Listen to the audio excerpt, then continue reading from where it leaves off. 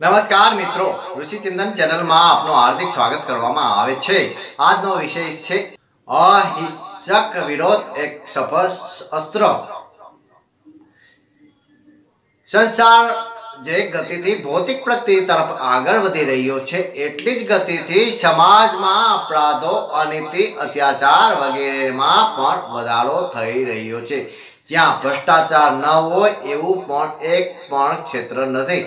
શાસન, રાજનીતિ, ધર્મ એમ દરેક ક્ષેત્રમાં અસામાજિક તત્વો વધી રહ્યા છે. ચોરી, ડાકુગીરી, હત્યા જેવા ગંભીર પ્રત્યક્ષ અપરાધો કરતા પરોક્ષ અપરાધોની સંખ્યા ઓછી નથી. તે દરરોજ થતા જ રહે છે. છેતરપિંડી, બનાવટ ભેળસેળ ચોરી બેઈમાની લાચ રૂશ્વંત વગેરેના કારણે વ્યક્તિ તથા સમાજને અનેક પ્રકારનું નુકસાન સહન કરવું પડે છે. એમાંના બહુ થોડા ગુનાઓ પ્રકાશમાં આવે છે. મોટા ભાગનાની તો ખબર જ પડતી નથી. વધતા જતા ગુનાઓ, ભ્રષ્ટાચાર તથા કુરિવાજોને અટકાવવા માટે કાયદો તથા સુરક્ષા તંત્ર પોતાની રીતે પ્રયત્ન કરે છે. પરંતુ તેઓ બહુ મર્યાદિત ક્ષેત્રમાં કામ કરી શકે છે. તો પછી આનો ઉપાય શું? વિસ્ફોટક બનતી જ જતી પરિસ્થિતિને શું માત્ર મુખ પ્રેક્ષક બનીને જોઈ રહ્યું તે પછી કોઈ અસરકારક પગલાં ભરી શકાય?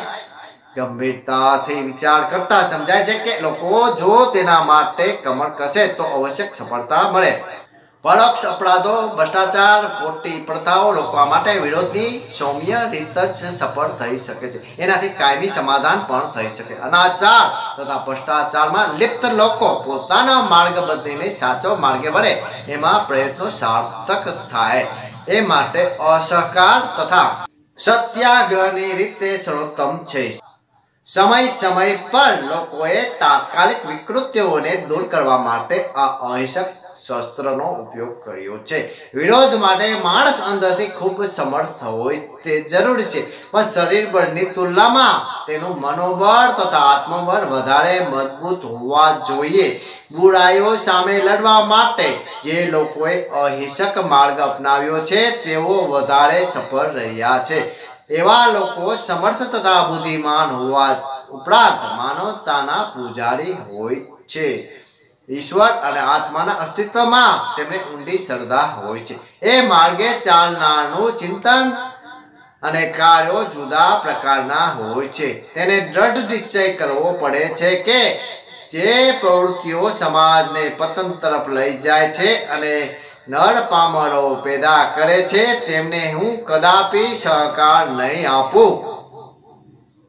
આ સંકલ્પ ઉપરાંત મહત્વની વાત એ છે કે અહિંસક સંઘર્ષોમાં લોખંડના શસ્ત્રો કે શરીર બળ કામ નથી લાગતા. એ શાંત સંઘર્ષમાં સદાચાર, પ્રેમ અને તથા કરુણાના શસ્ત્રો કામ લાગે છે. ચરિત્રવાન મનુષ્ય જે અહિંસક લડાઈ લડી શકે છે તેનામાં આદર્શો પ્રત્યે પૂરી શ્રદ્ધા હોવી જોઈએ. અહિંસક લડાઈમાં સદાચારના બળ જેટલું મહત્વ શરીર બળ કે બુદ્ધિ બળનું નથી. અહિંસક સંઘર્ષમાં માર્ગ ચાલનારે પોતાની અંદર માનવીય ગુણ વધારે તેવા સદગુણો પેદા કરવા જોઈએ. તે અહિંસક યુદ્ધના ધારદાર શસ્ત્રો છે. એનાથી વિરોધ પક્ષની ખરાબ પ્રવૃત્તિઓને નિષ્ફળ બનાવી શકાય છે. આ દિવ્ય શસ્ત્રો વગેરે સંઘર્ષમાં જીતી શકાતું નથી. માનવીય ગૌરવ તથા સમાજને સુવ્યવસ્થા વધારે તેવી પ્રવૃત્તિઓ જ સમાજ, શાસન તથા રાજનીતિમાં સુધારો કરવામાં વધારે સફળ બને છે. નવનિર્માણ માટે અહિંસાત્મક સંઘર્ષ કરવા તેમનામાં વૃદ્ધિ કરવી જોઈએ. અહિંસાત્મક વિરોધ સર્વોત્તમ રણનીતિ અહિંસાત્મક સંઘર્ષની રીતે એને યોગ્ય માનવામાં આવે છે. તેનું કારણ એ છે કે તેનું પરિણામ વધારે સુખદ, સ્થાયી તથા હિતકારી હોય છે. અહિંસક વિરોધમાં બંને પક્ષોની શક્તિઓને સંતોષજનક તથા રચનાત્મક કાર્યક્ષેત્રમાં મળે છે. અંતે બંનેના શક્તિ પ્રવાહો એકબીજામાં ભળી જાય અને એક સાથે નવી દિશામાં વહેવા લાગે. તેને આધુનિક મનોવૈજ્ઞાનિકની ભાષામાં ઉદાતીકરણની પ્રક્રિયા કહેવાય છે. એનાથી શક્તિ અનેક ઘણી વધી જાય. આજે આખી દુનિયામાં વેળના અગ્નિમાં બળી રહી છે. તે ચિનગારી ગમે ત્યારે મહાવિનાશના રૂપમાં પ્રગટ થઈ શકે છે. આવી સ્થિતિમાં સુધારણા માટે અહિંસાત્મક રીતે જ ઉપયોગી બની શકે છે. એના બદલા લેવાની નહીં, પરંતુ સહકારની, વિનાશની નહીં, પરંતુ વિકાસની ભાવના વધારે હોય છે. યુદ્ધોથી એક અગત્યની બાબત જણાય છે કે, સાવ નકામા માણસને અનુશાસન દ્વારા એક સારો સૈનિક બનાવી શકાય છે. અનુશાસનનો જ આ જ પ્રયોગ અહિંસાત્મક સંઘર્ષમાં પણ સફળ થઈ શકે છે. કૂટનીતિજ્ઞ ચાણક્ય કહેતા હતા કે અનુશાસન યુક્ત અભ્યાસ પ્રકૃતિ કરતા પણ વધારે શક્તિ પેદા કરે છે. અહિંસક વિરોધમાં આત્માનુશાસનની વિશેષ ભૂમિકા હોય છે, જે પોતે શિસ્તમાં રહેતો નથી, તે અહિંસાત્મક સંઘર્ષમાં સફળ થઈ શકતો નથી. એક યુદ્ધ વિશેષજ્ઞનું કહેવું છે કે યુદ્ધ જીતવા માટે ત્રણ બાબતોનું ધ્યાન રાખવું જોઈએ. પહેલું તો યુદ્ધમાં શત્રુનું સાહસ, હિંમત તથા સૈનિકોને શિસ્તને તોડી નાખવું જોઈએ બીજું, શત્રુ દેશની નીતિઓ પર આક્રમણ કરવું જોઈએ અને ત્રીજું, તેના સેનાપતિની યોજનાની વિરુદ્ધ આક્રમણ કરી દેવું જોઈએ સૈદ્ધાંતિક રીતે અહિંસાત્મક સંઘર્ષમાં પણ આ જ નિયમ લાગુ પડે છે. સામૂહિક અહિંસાત્મક વિરોધથી શત્રુ પક્ષની હિંમત અને મનોબળ જો તૂટી જાય છે, પરંતુ એટલા જ પ્રમાણમાં વિરોધ કરનારનું સાહસ પણ વધે છે.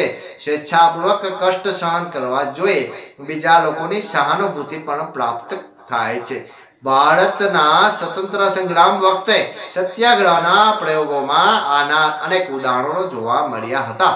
આ જ અહિંસાનું તત્વદર્શન અને રણનીતિ છે. અહિંસક વિરોધની સફળતાનું રહસ્ય. અહિંસક વિરોધ કરનાર પોતાના ધ્યેયને જાણે છે અને દરેક સ્થિતિમાં તે અડગ રહે છે.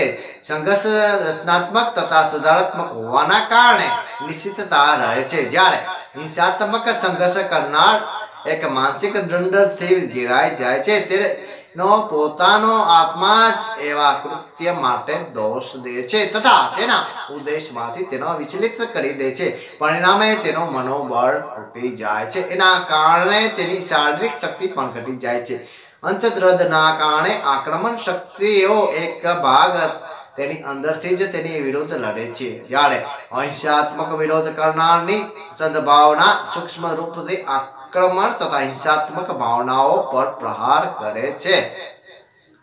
અહિંસાત્મક વિરોધના તથા સંઘર્ષનો દાર્શનિક આધાર એ તથ્ય પર રહેલો છે કે મૂળભૂત રીત તો દરેક માણસ સારો જ છે, ખરાબ સંસ્કાર, ખરાબ વાતાવરણ તથા ખરાબ અભ્યાસના કારણે તેનામાં બુરાઈઓ આવે છે. વિકૃત મગજવાળા નૃશંસ અપરાધીઓની વાત જુદી છે. નહીં તો દરેક માણસમાં ભલાઈ તથા બુરા બંને તત્વો મોજૂદ હોય છે. બુરાઈઓને પ્રયત્ન અને અભ્યાસથી દૂર કરી શકાય છે. એ જ રીતે દરેક માણસના સદગુણોને પ્રમાણ પણ વધારી શકાય છે.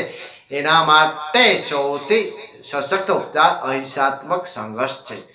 તે એક મનોવૈજ્ઞાનિક સત્ય છે કે હિંસા આચનાર વ્યક્તિ પ્રત્યે લોકોની સહાનુભૂતિ જાગતી નથી.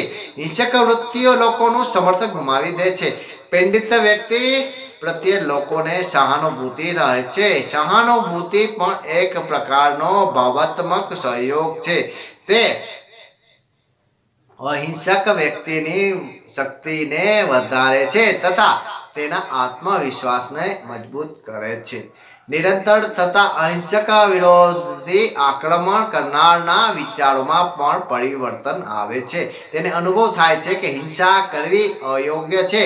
જે કાંઈ કર્યું છે તે ખોટું છે. તેમના મનમાં પોતે કરેલા કાર્યો બદલ નાની પેદા થાય છે અને આત્મ સુધારનો પ્રયત્ન શરૂ થઈ જાય છે. આ એક એવું અમોધ શસ્ત્ર છે જેના પ્રયોગ વ્યક્તિ તથા સમાજ બંનેને સુધારવા માટે કરી શકાય છે. અહિંસક માર્ગની લડાઈમાં બીજી પણ એક વાત જાણવી જરૂરી છે કે હિંસાત્મક લડાઈની જેમ અહિંસાત્મક સંઘર્ષનું લક્ષ્ય વિરોધીને હાનિ પહોંચાડવાનું દબ દબાવી દેવાનું કે તેને અપમાનિત કરવાનું હોતું નથી, પરંતુ તેનું હૃદય પરિવર્તન કરવાનું હોય છે. અહિંસક સેનાની વિરોધી પણ ઉચ્ચશાળી તથા સુરક્ષિત સ્થિતિને પહોંચવા ઈચ્છે છે. તેના લીધે તે બંને શબ્દો વધારે ગાઢ, મધુર, સકારાત્મક તથા શાંતિપૂર્વક બને છે. આધુનિક મનોવિજ્ઞાનનું કહેવું છે કે શરીર બળની તુલનામાં મનોબળ વધારે શક્તિશાળી છે. બીજા લોકોને જો જીતવો હોય તથા તેને કાયમ માટે પોતાના બનાવી દેવો હોય તો વિચાર સપ્રેષક દ્વારા એવું કરી શકાય. તેથી મનુષ્યના અચેતન મન પર અચેતન શક્તિ દ્વારા લાંબા સમય સુધી પ્રહાર કરવાથી બહુ મોટું પરિવર્તન થઈ જાય છે.